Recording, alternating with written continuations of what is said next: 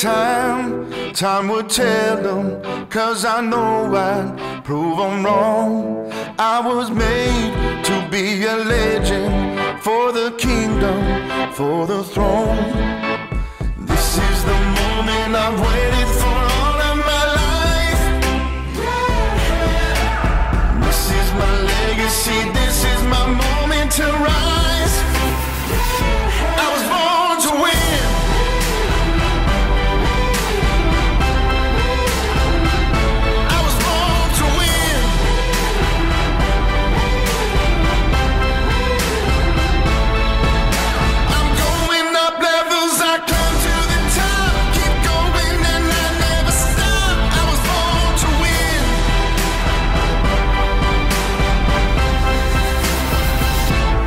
Born to win. This is what it means to dream.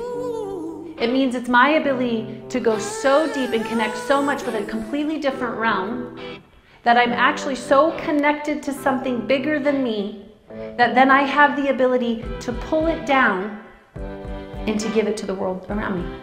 This is what it means to dream.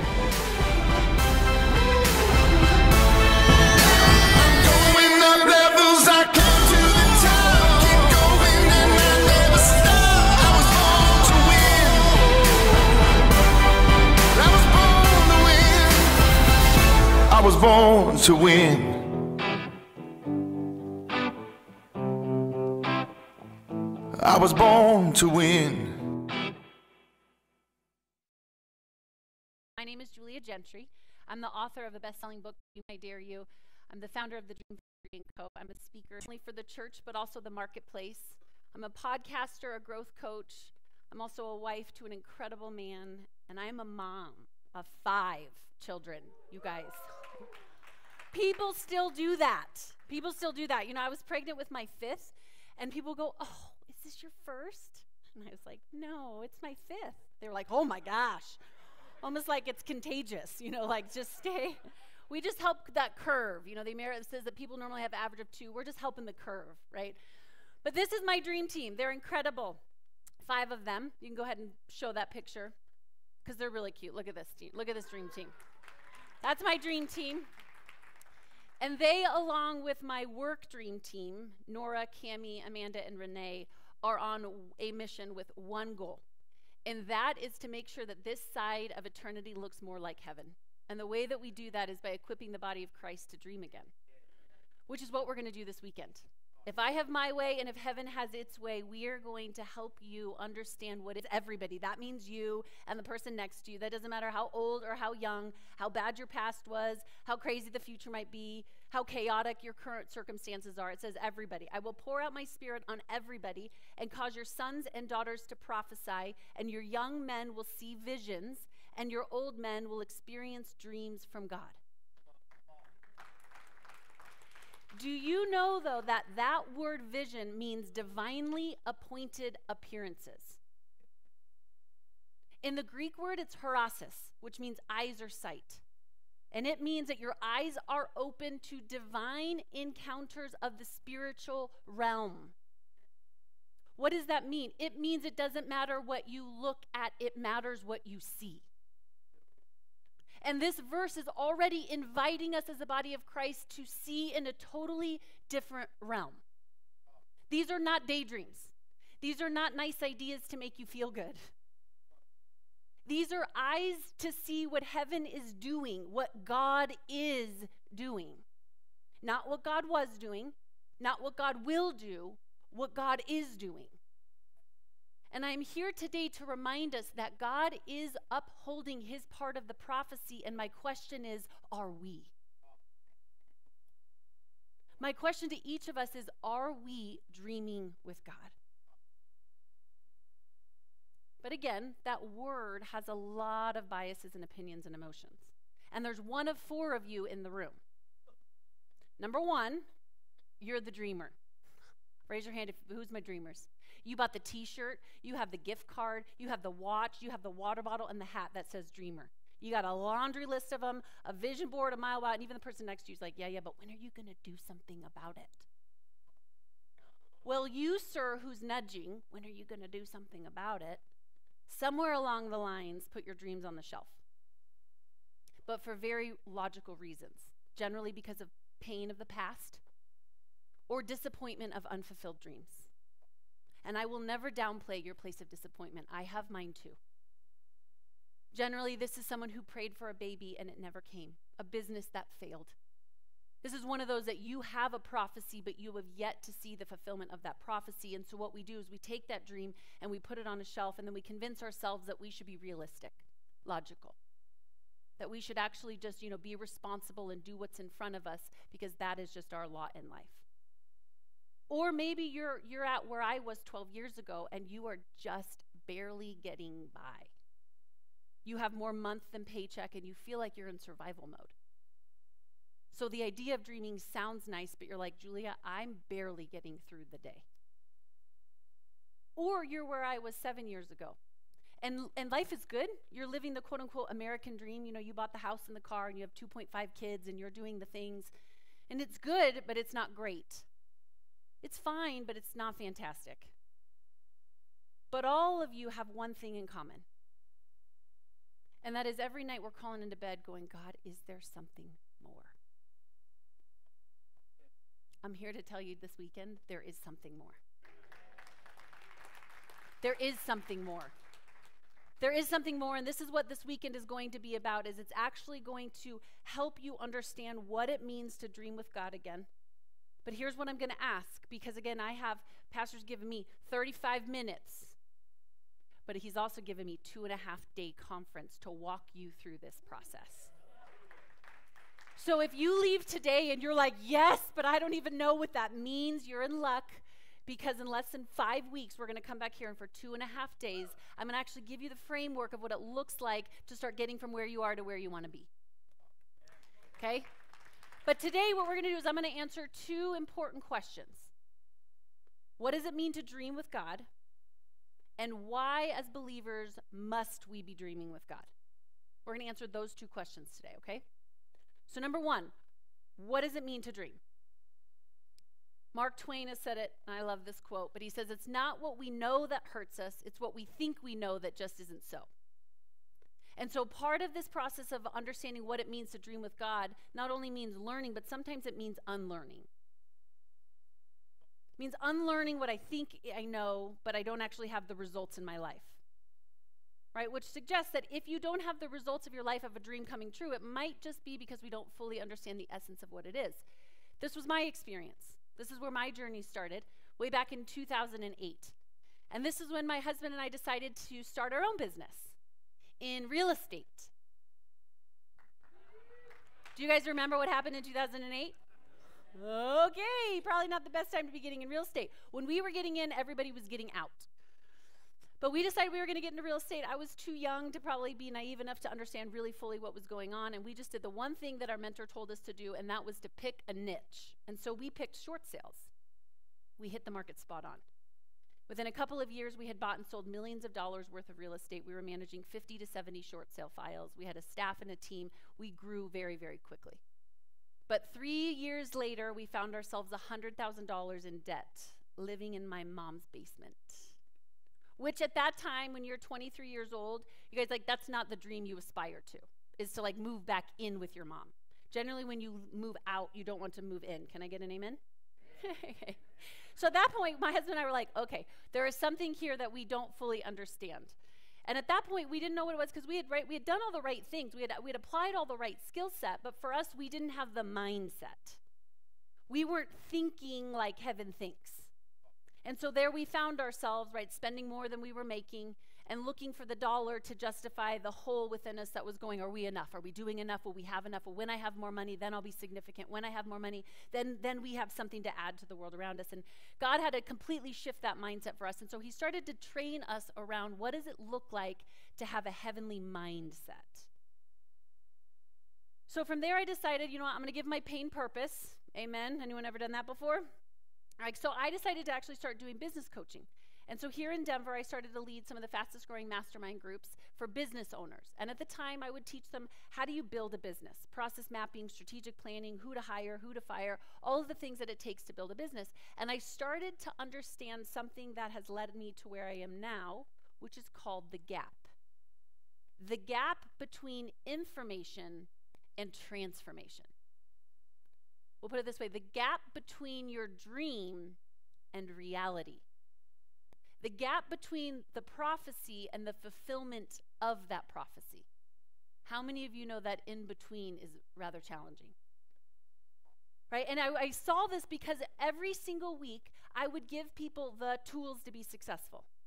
Right? I would give them the process map, and two weeks later they would come back and not have used it. I give them the plan, and they come back and guess what? Didn't use it.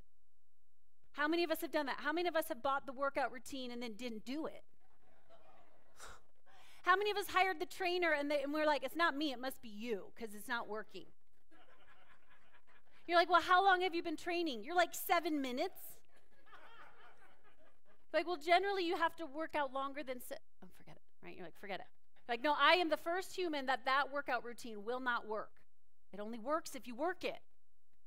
Right? But I started to notice that people come in, you're like, what is this? There was this insane gap, and it was almost like the more we Googled, the less we know.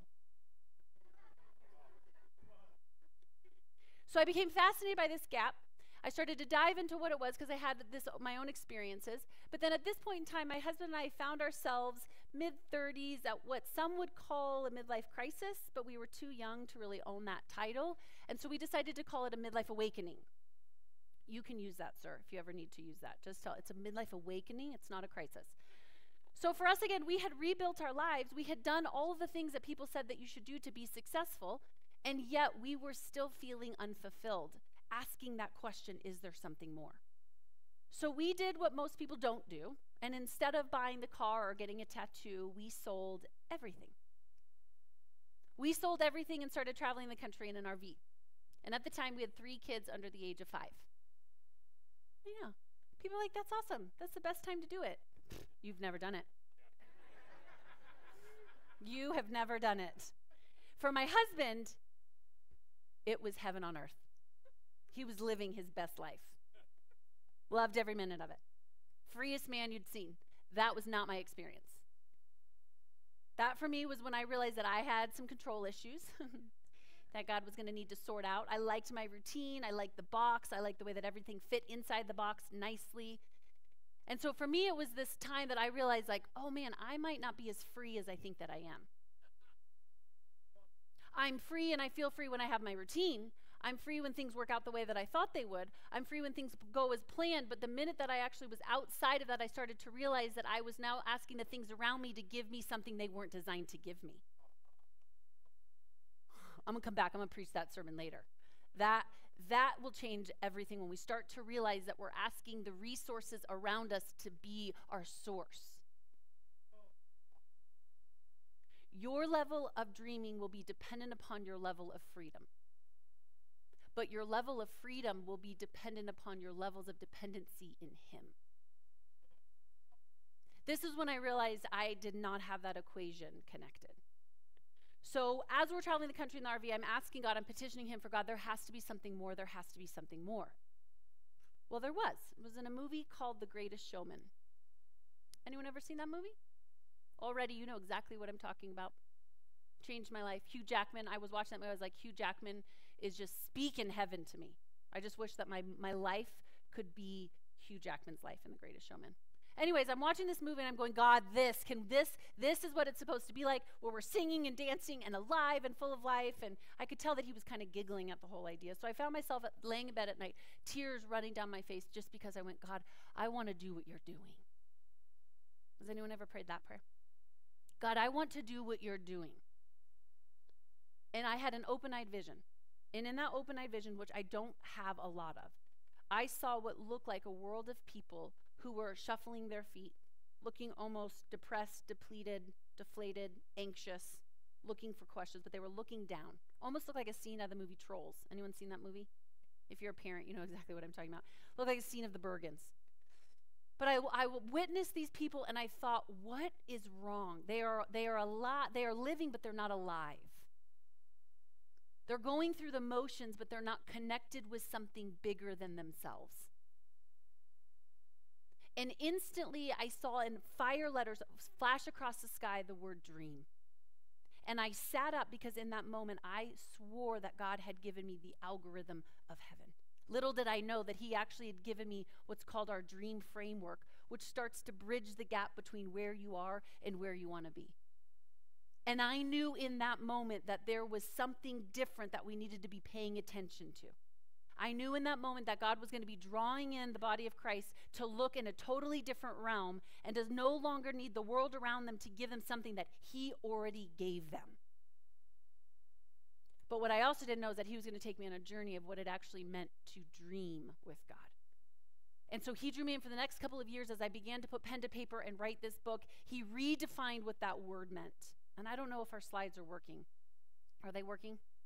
I haven't seen them working, so if not, I'm going to give you my definition of what this word means. It's a longer definition, so bear with me, but I'm going to give you what this definition means. At the conference, I'm actually going to walk you, yes. We had missed a couple of slides, so I wasn't sure if we had those. Here's what it means to dream it's the ability to have this great and intense focus in a totally different realm that brings about the possibilities while considering the needs of those around you. I'm going to say this again. It's the ability to have such great and intense focus where? Not on the world around us. These are spiritual eyes. These are eyes connected to a totally different realm. It's called the heavenly realm, where inside of you, that's God's voice in you, that brings about possibilities, that builds something from nothing, and gives it away to the world around them. You want a shorter definition? It means heaven on earth. It means heaven on earth. This is what it means to dream. Now, here's the interesting thing about this word this word is not designed to make us feel good, it won't. This word is actually designed to make you be good. It's designed to make you be everything that God created you to be. It's designed to get you out of your comfort zone, out of the boat, get you walking on water, looking at Him amongst the waves, and to do what only you can do because your eyes are on Jesus. Last I checked, that doesn't feel good. it doesn't feel good. If you if you went and, we went and sat and talked to Noah about when he was building the ark, when everybody thought he was crazy, he would have looked at you go, "This does not feel good." If you had asked Moses, who who stand, I can't imagine being Moses in the wilderness with people grumbling and complaining for 40 years. I can't take when my kids grumble and complain for four minutes. Can you imagine being Moses for 40 years? didn't even get to enter the promised land. You get to heaven and you'd be like, Really, God? Why? Moses was connected to a dream that was bigger than his own life. Some of us say, well, Julia, you don't understand. Life is just so busy, it just gets in the way. If, if life is getting in the way of us living our dreams, then what is the point of life? So, the, the interesting thing about dreaming is that it's not designed to make you feel good, it's designed to make you be good. You have a dream, but God is after your character. He's after your character. You want the destination, He wants your heart. He wants you to have a dream, but He doesn't want that dream to have you. And so, the idea of the day that He gives you the dream, the day that you receive the prophecy, and the day that thing manifests are two totally different days. True or true? And we think that the in between is designed to break us. We start wondering, where are you, God? Why are you not answering my prayers? Where you gave me that dream, where did you go? Why are you so far away? Tony Robbins says this, but the quality of your questions determines the quality of your answers. And some of us are asking God questions we do not want the answer for. And so we start to think that there's something wrong with the in between. Do you want to know what the in between is about? It's about your character. It's about you becoming everything that God is wanting you to become. Why? So when you get to the manifestation of the dream, that you have the character to hold the weight of the blessing. He doesn't want you just to get there, He wants you to stay there. This isn't about us feeling good, it's about us being good. This is what it means to actually partner with the prophetic. Someone needs to write that down. Part of dreaming is learning how to partner with the prophetic. What does that mean? It actually means not just to uh, know what's wrong in the in between, not just to know that God, do you see this obstacle and do you see this problem and have you have you watched the news and have you scrolled on social media? Some of us who even feel energy and we feel the demonic, we go, "Oh, I know what the enemy is doing." How many of us have actually walked in the room and gone, "Okay, I see what the enemy is doing, but God, what are you doing and what do you want me to do about it?" this is what we're supposed to be bringing to this world. We actually need to be the ones. It's, it's so funny. Dion, he's a dear friend of mine, and he's um, a VP of the National Day of Prayer. And they announced at their last conference, Kathy says this, made this statement that I just, the, everything in me, like my light on, within me turned on. She says, We think that the world is getting darker, but she says, I would like to suggest that we're just getting dimmer. Think about it. When you read all the Bible, you read the Old Testament and you, you think about how crazy some of those stories are. You're like, you don't even want to read them to your children because they're going to go, they did what? You're like, I don't, I don't really actually know how to explain that to you as they're like throwing babies into the fire. Do you know what I'm saying? Like, it has always been dark. So now we find ourselves easily, rightfully so, so still saying, well, it is just really dark out there. True, or is the light just getting dimmer?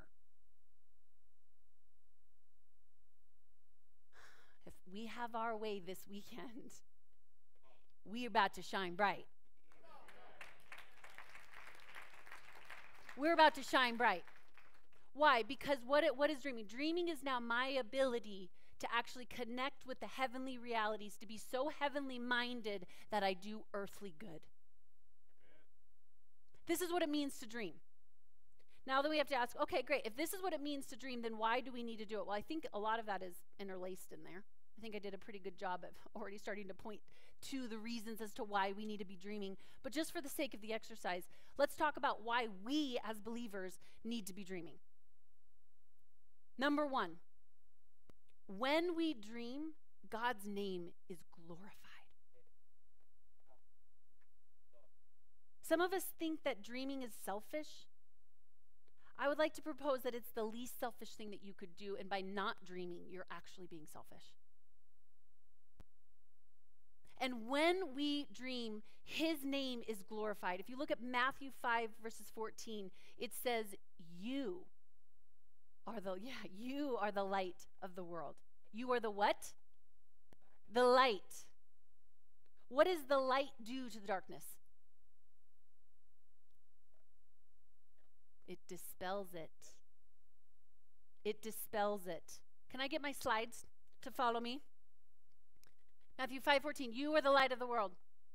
Neither do people light a lamp and put it under a bowl. Instead, where do they put it? On a stand, and it gives light to everyone. Say everyone. everyone. Do you know what that word means?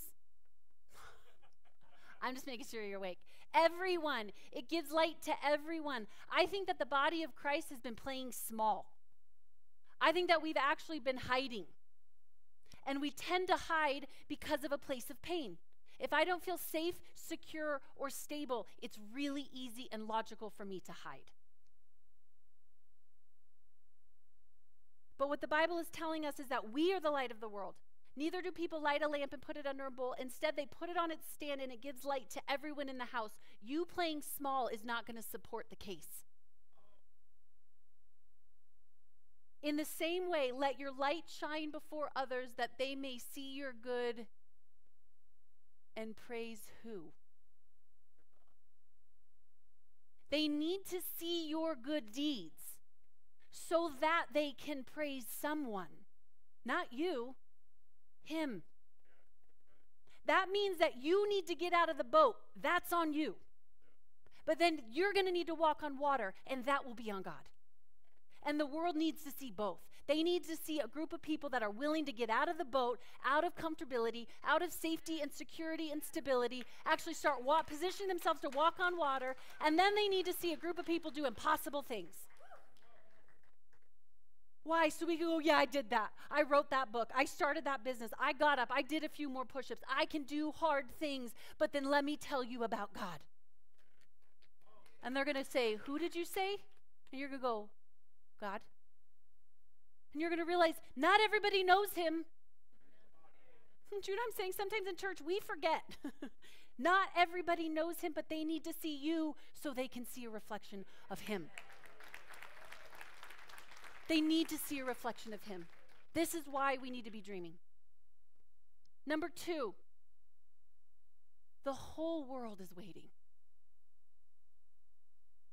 You well, that's that seems a little that seems a little much, Julia. Well, not according to Romans. It says, For the creation waits in eager expectation for the children of God to be revealed. Do you know what I think is happening on social media right now? Do you know what I think is happening in the news? I think the whole world is groaning for an answer. And it's reading the facts and it is not doing it, the job. Why? Because the world doesn't need facts, it needs truth. So it's groaning and it is waiting for who? You and I, for all the all creation is waiting for the children of God to be revealed. Well, then it's easy. If you're like me, it's easy to go, yeah, but Julia, you don't understand my past. You don't understand where I've been. You don't understand my pain. You don't understand my current circumstances. You don't understand my bank account. You don't understand. No, you're right. I don't understand. I will never be here to pretend that I understand. But I will say that again, if we go back to truth, not facts, because that's what we need right now, we don't need more facts, we need truth. If you keep reading in Romans, verse 26, it says that in the same way, the Spirit helps us in our weakness. That's when He is made manifest, is in your place of weakness. When you come to the end of yourself, we find Him. We find Him. So today, if you're at the end of yourself, good. You bet to pull down heaven's realities then. Today, you are about, Satan wants you to think that you've come to the end of yourself and it is time to be done. I want you to know it is just the beginning if you are at the end of yourself. Ask me how I know. November 2nd through the 4th, you come, I'll tell you everything I know. Okay, look, then if you go on to verse 28, though, it says, And we know that in all things, everyone say all things. Do you know what that word means? All things. That means in all things your past, your current circumstances, the things that have happened, haven't happened, how much money you have or don't have in the bank account, what your dad did or didn't do, what your mom did or didn't do, what the economy did or didn't do. In all things. Sometimes it's easy to forget. We think, well, but except for this one thing. It says, In all things, God works for the good of those who loved him, who have been called according to his purpose. For those God foreknew, he also predestined to be conformed to the image of his son. Look at verse 30. Those he predestined, he called. Those he called, he justified. Those he justified, he glorified. He did that. Here's why this is an incredible message that is just easy for us to misunderstand or not to be able to uh, interpret into our real life. The Old Testament points to the fact that we needed law. What was law? To acknowledge that we had sin. No law equals no sin. Right? If there's no speed limit, I don't actually know that I should be pulled over if I'm going too fast or too slow. Right? So I will have a speed limit. Why? So it proves that there would be sin. So the law was ushered in to say, you will have an end to yourself. You are a sinner. That's why there was law. Then Jesus came and he became grace. So law got us to the end of ourselves to realize I can only get so far. I need a Savior. I need something more. Is there something more? Yes. He has a name. His name is Jesus. So he enters the scene as grace and we know the concept. But I'm here to tell you today that grace isn't a concept, He's a person. And He lives on the inside of you. And in your place of weakness, in your place of I'm done, in your place of I don't know that I can take one more step, in your lack of dreams, in your lack of unfulfillment of those dreams, He is right there saying, My turn. I literally see over a couple of your heads, yours, yours, and yours. It says, My turn over your head. You have hit a point, you three, that you have almost given up, and the people around you actually don't know. And you are feeling shame or guilt of telling them that you have taken it as far as you can go. And some days you're like, I'm in the zone. How many of us, who's my willpower that you're like, I could do this? Not even I could do all things through Christ. I'm just going to do it. I'm going to do it. And then you hit other days, you're like, I don't got this. Is that just me? you're like, but tell no one. Tell no one. People like, you good? You're like, good. I'm good. Solid. This is solid. I'm a, I'm a solid good. God wants you three specifically to know that He has all over you my turn, and you need to shift into Holy Spirit pace. Holy Spirit pace. When you come to the end of yourself, you will find Him.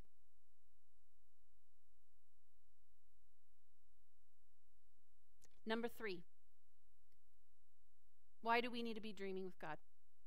It was one of the core jobs Jesus had on earth. And if it was his job, it's our job. Of course, we know that Jesus' main job was for you to enter into grace so that we could live with him for eternity. He died, he came, died, rose again, so that we could be in eternity for, with him forever. He came to set us free. That freedom cost him everything, it cost us nothing. It cost us nothing. Right? So he came he came to do this. John 10:10 10, 10 says, "I came that you may have and life." What does that word mean? Everything, all the things, more than enough, overflowing, abundant life. That's why he came. I didn't come so you would play small. I didn't come so that you would settle. I didn't come so that you would fit in. I didn't come so that you would even know all the answers. Bill Johnson says this all the time, but if you can't understand the mysteries of God, you'll never understand the revelations of God. Some of us are like, yeah, but God, I don't understand that. Well, if you did, then you wouldn't need Him to begin with. And if we can't understand the mysteries of God, do you think you could actually understand His revelations? He's that big. And you're like, yeah, but Julia, I'm afraid. Then get closer. Well, then, but I don't know if I can trust Him. Then get closer. I don't know if I could dream with Him anymore. Then get closer. Proximity to Him will matter to you. He says, I have come that they might have life and life more abundantly. And then while he's here, he sets our pace. Before he leaves, he's like, By the way, very truly I tell you, if you read in verse 12, John 14, verse 12, very truly I tell you, whoever believes in me will do the works I have been doing and even greater. Why? Because I'm going to the Father and I will do whatever you ask in my name so that the Father may be glorified in the Son. So ask me for anything in my name and I will do it. Mm-hmm. He's setting our pace. He's setting our pace. And believe me, there's some of you are like, yeah, but I've been petitioning and I've been petitioning and God's not doing it. He's not done. some of us have to remember He's not done. Do we want to see the fulfillment of our dreams on this side of eternity? Absolutely. But remember, this is so much bigger than just this blip of time. And the closer we get to Him, I think why He's saying this is this isn't just an invitation to do cool things. Do we want to see Red Seas part? Yes. Do we want to build an ark? Yes. Do we want to do the impossible? Yes. Write books and start businesses and yes, yes, yes. Don't don't get me wrong. But this, I don't think that Jesus is saying this is because he just wants us to do cool things. If you keep reading, he says, and you will do whatever you ask in my name so that the Father might be glorified. You may ask anything in my name. That's about proximity. That is about the closeness to his heart.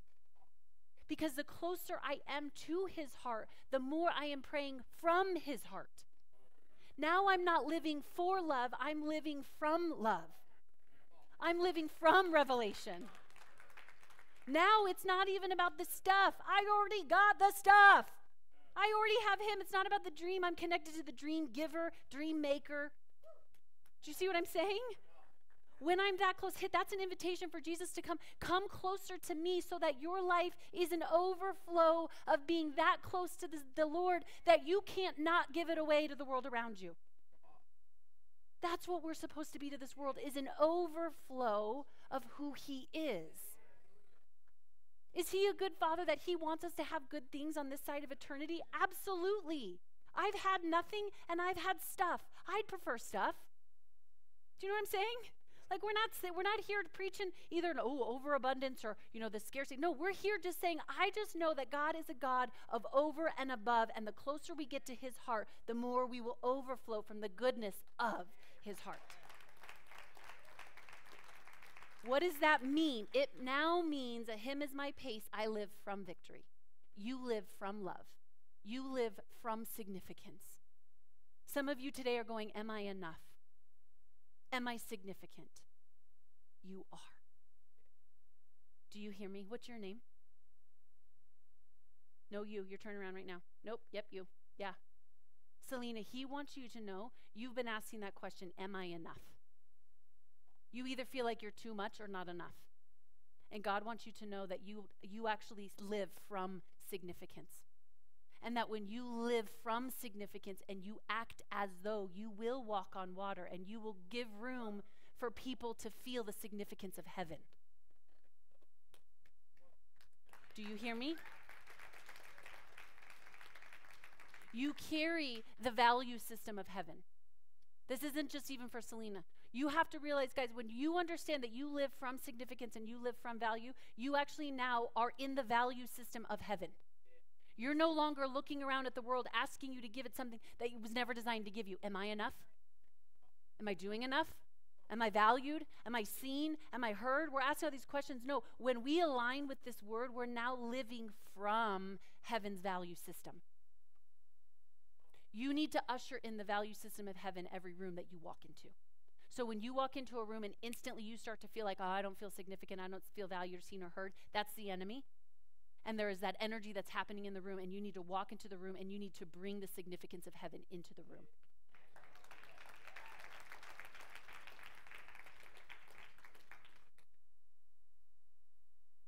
How do we do that? Yeah, we do that physically, right? We're, we're actually going to pace with the Holy Spirit physically in what we're doing. But number four, the other reason of why we need to be dreaming with God, it's actually how Jesus taught us to pray. The disciples I love, of all the things that they could ask Jesus, they're like, hey, hey, uh, how should we pray? I would ask God, like, can I have a better strategic plan or like a process map? you know what I'm saying? Who's my strategy people in the room? There's not very many of you. You guys, my director of operations, Cami, is like the strategist from heaven. This girl's like on a Trello board and she just does all of the things. I've never seen strategy before. Her and I joke all the time that if I had a question for Jesus, I would have been like, give me heaven's strategy. I want to do all the things. How many of us want to do all the things? We do. We want to do all the things. But what happens with all the things oftentimes is we burn out. So I love that the disciples are coming to Jesus and they actually have the courage to go, How, how do you want us to pray? And we know this prayer so well. But if you look at our prayer life, and this is not to shame, blame, or guilt, but if you look at our prayer life, we're like begging God. We're like begging God. Or some of us aren't even praying out loud. Again, this is no shame or blame or guilt, but we have forgotten what prayer is. Prayer is partnering with what heaven is doing. Yes, we need to be taking our heart to Father God every night and every morning. We need to be casting our cares, taking our hearts, our pain, our fears, our worries, and everything in between. He's that good. But then we have to realize that prayer is actually partnering and aligning with what heaven is doing. So when we walk out of those doors, that we're in alignment with what it's doing. And he says that if you look at what Jesus says to the disciples, he says, Our beloved Father dwelling in the heavenly realms. Number one, he gets us looking up in our prayer. He doesn't say, uh, Father God, let's look around at all the problems going around us first. He says, Father God, dwelling in the heavenly realms, He puts our attention on Him. Why? Because whatever you pay attention to will have your life. So He says, well, first we're going to put our attention there. Dwelling in the heavenly realms, may the glory of your name be the center on which our lives turn. What is he doing? He's even having us go, yeah, I might have a dream, but he's going, look higher. I want you, Lord, to be the center in which my life turns. I want you to be the center in which my life turns. Then he says, manifest your kingdom realm and cause your every purpose to be fulfilled on earth just as it is in heaven. What does that word manifest mean? To show, to display, how many of us are praying that prayer? After today, this is our prayer. Every day, in between now and Dare to Dream conference and then forevermore, we are going to pray this prayer as a church. and we're going to put our attention on heaven and we're going to rededicate our lives to spin only on His glory. Why? Because that's where we live. We don't live from this world to His world, we live from His world to this world.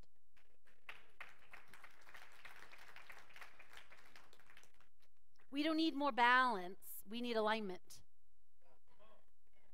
The world is trying to sell you on a balanced life. Pinterest and Instagram and all these quotes are like, you should be more balanced. Said Noah and Moses and Jesus never. They were not balanced, they were aligned. Yeah, but I just want to make sure that everybody's happy, said Jesus never.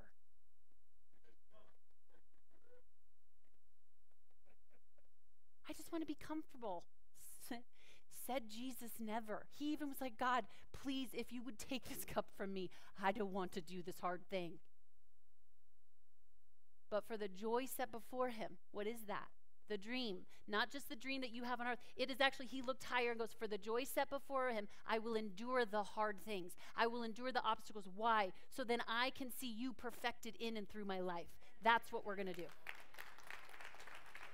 That's what we're going to do. Why? Because number five, and I'm going to land here, is that number five is that we are here dreaming with God because it is part of our greatest commission. That is on us. Jesus says, I'm going to go. You're in. He tagged us in. And he gave us his commission. He says, Matthew 28 19, therefore go. Everyone say, go. Go and make disciples of all the nations, baptizing them in the name of the Father and of the Son and of the Holy Spirit. That means we have a job to do. We have a job to do. And if you're here today, I want to remind you that that dream and that prophecy that God's given you, it is real and it is alive. And this weekend, I'm going to invite you into three action steps for you to align with what God has already spoken on your life. Prophecy is not just telling you what could and might happen next. Prophecy is a call back to what God has always been saying. If you remember when He began the beginning, He sat at the end.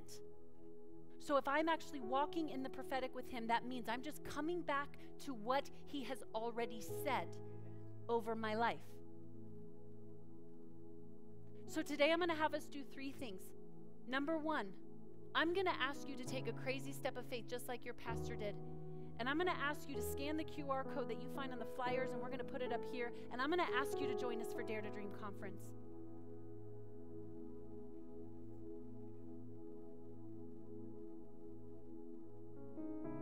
My least favorite thing to do about my business, I always tell my team, is to sell.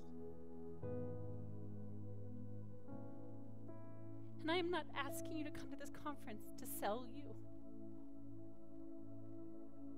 I'm asking you to come. I'm begging you to come. Because the world needs what God has put on the inside of you.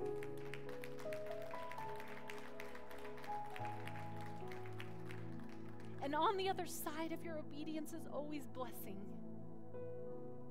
So I'm going to ask you to scan this code and I'm going to ask you to come.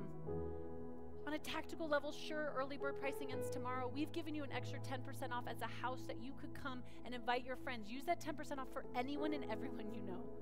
And I'm going to ask you to come to this conference and to say yes to the dream that maybe you've put on the shelf. There's some of you who are so pained by that word, and I'm going to ask that you trust Him one more time. Number two, when you walk out that room, I'm going to ask that you go talk to my team at that table and you grab one of those books. And the reason I'm going to ask you to grab that book, my fingerprint is not on that book. When God asked me to write it, I told him no. I downplayed his voice and I downplayed myself. Because at the time when he asked me to write that book, I was in the marketplace. I loved him, but I was an F bomb dropping, wine drinking girl. I stand before you today, simply a woman who said that everything I was wanting, the fire He gave me, was on the work that I was avoiding, so I just said yes.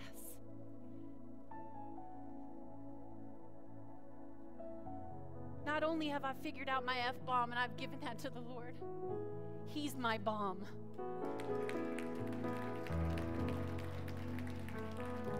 But my husband and I are two years sober, and we have found the fire. And that book will set you on fire. And then here's the third thing I'm going to ask I'm going to ask everyone to stand. I'm going to ask you to stand, and if today there was something on the inside of you that everything went yes, I'm going to ask you to do something about your yes. And there's those of you who might not know Jesus today, and this is a simple yes to enter into the freedom he died for. That doesn't cost you anything other than just the declaration. So if you are here today and you have never accepted Jesus into your heart, will you raise your hand for me? I want to make sure we don't miss anyone on this. This is the most important decision you can make. And a lot of times they go, You should call everyone close your eyes and bow your head. No, this is something we need to be celebrating. Heaven will get one more. Is there anyone that needs to accept Jesus or doesn't know this Jesus? Okay, great. Number two, those of you who want to realign with what heaven is saying over your life, will you please raise your hand? If you are ready to dream with God, will you please raise your hand? Amen. I'm going to ask you to get crazy and I'm going to ask you to come up front. I'm going to ask you to come up front and to be seen. I'm going to ask you to shine the light in the darkest areas. And by doing this, I want you to know that you this is like marching around your walls of Jericho and telling Satan no more. Fear stops today, worry stops today, anxiety stops today. It stops today. Why? Because heaven has already sung its song over your life. And so today, all we're going to do is surrender to that word. We're just going to surrender. We're not going to strive. We're not going to achieve. We are simply going to surrender and we're going to say yes, okay? That's all we're going to do. And then God is going to say, My turn. He's going to say, My turn, baby. He's going to say, Give me your hands. He's going to say, My turn. He's going to say, My turn. He's going to say, My turn.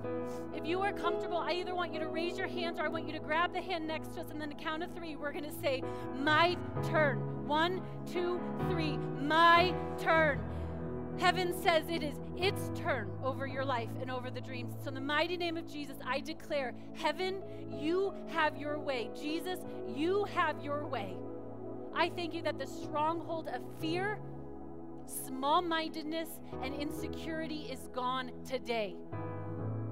I thank you for the shackles that are around our ankles and our necks are gone today. And I pray for the power of heaven. I release freedom in one hand and fire in another. I put freedom in one hand and fire in another. I thank you, Father God, that the body of Christ now in this Word Alive Church, God, will rise up and that they will see who you have called them to be all along. And we will surrender our will, we will surrender our way, and we will surrender our time. And we will say yes. Everyone say yes. Say yes. Say yes. God, you have our yes. You have our yes. Not our will, not our way, not our time, God. We just have our yes. And I thank you for divine revelation in the mighty name of Jesus, God. I thank you that you are stirring up the fire within each and every one of us. And I thank you in the mighty name of Jesus that you sanctify, you glorify, Father God, what is happening today. I thank you for this body that they will be a beacon of light to this dark world. I thank you that Thornton, Colorado, the nations will know Word Alive Church because of the yes today.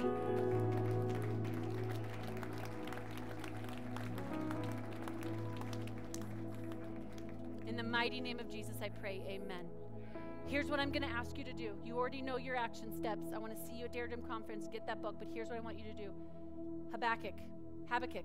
How would I say that? Habakkuk? Habakkuk. Habakkuk. Whatever you want, however you want to say it. Did you know that if you double click that word, it still means Habakkuk? Two, it says, write the vision clearly on the tablets. Whatever God did for you today, I want you to write it down. I don't care if you saw a color. I don't care if you saw a number. I don't care if you saw the strategy of heaven. I don't care if you're like, I saw nothing, but I felt something. Give it a word, give it a name. I want you to document it. And here's why I want you to do that because in between now and November 2nd, every morning, you are going to march around the walls of Jericho. You are going to open that vision and you are going to clearly continue to say it over and over and over again over and over and over again. Do you hear me? Some days you're not going to feel like it. You're going to do it anyways. Some days your thoughts aren't going to go, well, this doesn't seem true. Good. Well, I don't really listen to facts. I will actually walk in truth. Do you hear me? Clearly define that. I'm going to be out here. I want to talk with you. I want to pray with you. I want to agree with you. And I want to dream with you. Word Alive Church, I love you. Hey, Pray.com family, it's Julia Gentry, and I want to invite you to my annual Dare to Dream conference alongside my good friend Shawn Bolz. We want you there. Head over to my profile where you can learn more and receive 10% off any ticket price because you are a part of our Pray.com family. Come dream with us.